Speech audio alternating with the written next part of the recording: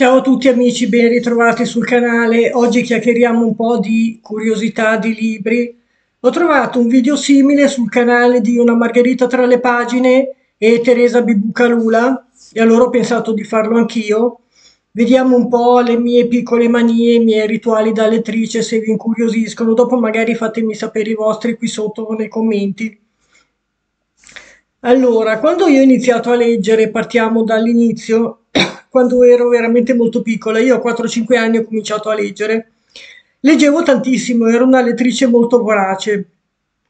In casa c'erano già gli Mondadori, i libri di Urania, di fantascienza, i libri di selezione del Reader's Digest, che erano tutti dei romanzoni americani, eh, saghe familiari, eccetera. Io leggevo tutti questi libri, leggevo tutto il giorno. Poi c'erano le enciclopedie per i ragazzi e allora mi leggevo dalla A alla Z, pagina per pagina, mi leggevo tutta l'enciclopedia, eccetera. Mi piaceva molto leggere, questo è durato fino all'adolescenza, così. Poi gli impegni lavorativi chiaramente non mi, non mi consentivano di leggere ancora tanto, allora ovviamente leggevo un po' meno, però nel tempo libero leggevo ancora tanto. Poi si sono alternati dei periodi anche abbastanza lunghi in cui non leggevo praticamente niente, a periodi in cui leggevo tantissimo, eccetera. Ero un po' non molto costante, diciamo, alternavo dei periodi di lettura. Adesso è un po' di tempo che leggo ehm, abbastanza costantemente tutti i giorni, ma non tantissimo, diciamo un'ora al giorno, due ore al giorno. I miei orari sono principalmente la sera e la mattina anche perché io mi alzo molto presto e allora la mattina riesco a ritagliarmi magari un'oretta anche perché se ti alzi alle 5 alle 6 non è che puoi fare molto in casa per cui magari mi metto a leggere così evito di disturbare siccome dormo poco. Eh, dunque i libri poi come li catalogo? Io ho fatto dei dei fogli di Excel dove ho catalogato tutti i libri, perché fino a due o tre anni fa non l'avevo fatto, però mi è capitato sia di rileggere dei libri, poi a metà mi accorgo che l'avevo già letto, perché avendo tantissimi libri magari non mi ricordo quelli che ho letto, quelli che no, invece adesso me li segno, e mi è capitato anche di ricomprare dei libri che avevo già. Vedo un libro che mi piace, lo porto a casa, poi mi accorgo che l'avevo già comprato.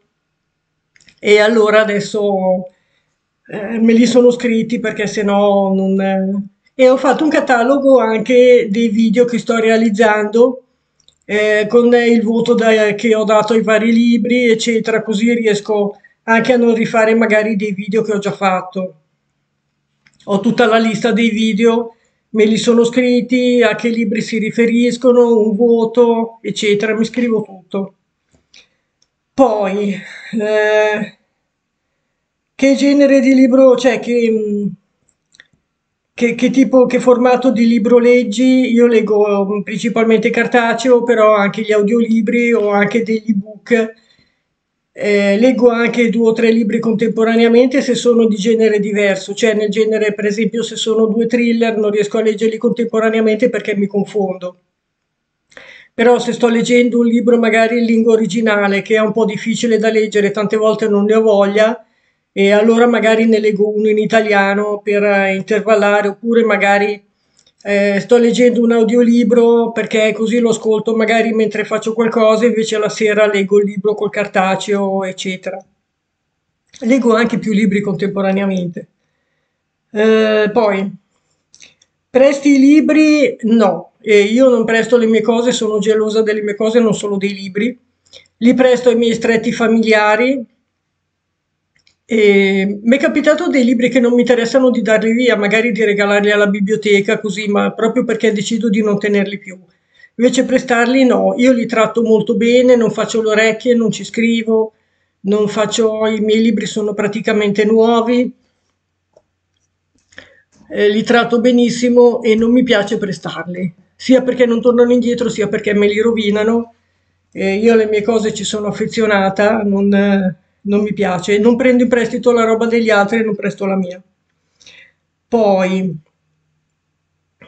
i luoghi dove leggi, principalmente in casa, eh, sul divano oppure se sono a letto.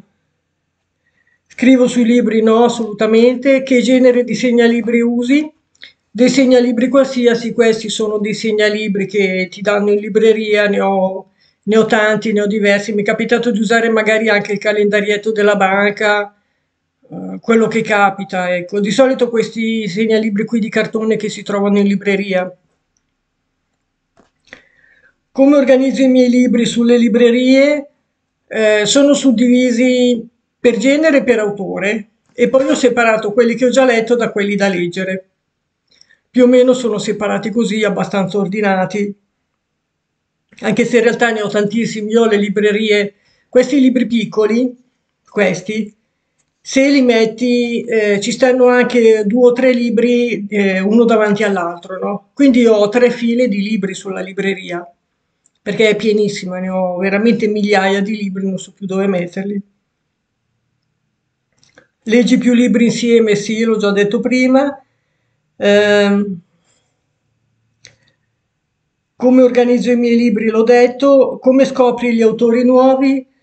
Eh, o se magari vedo un film che è tratto da un libro, prendo il libro da cui è tratto, oppure mi faccio consigliare da qualcuno che conosco, oppure su qualche canale anche qui su YouTube, se so che hanno dei gusti simili ai miei, magari li seguo.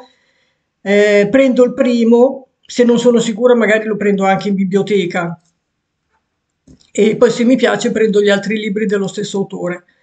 E, ehm, Prendo libri anche usati, ad esempio al libraccio, alcuni che non mi interessava più di tenere li ho dati via. E, e niente, poi li trovo, adesso tante volte li prendo in biblioteca per non comprarne più, ma ne ho ancora tanti da leggere in casa. Bene amici, io ho finito, saluto sia Margherita che Teresa, eh, fatemi sapere qui sotto le vostre piccole manie se ne avete se avete qualche fissazione, io in particolare non ne ho. A presto, prossimo video, ciao, grazie per la visione.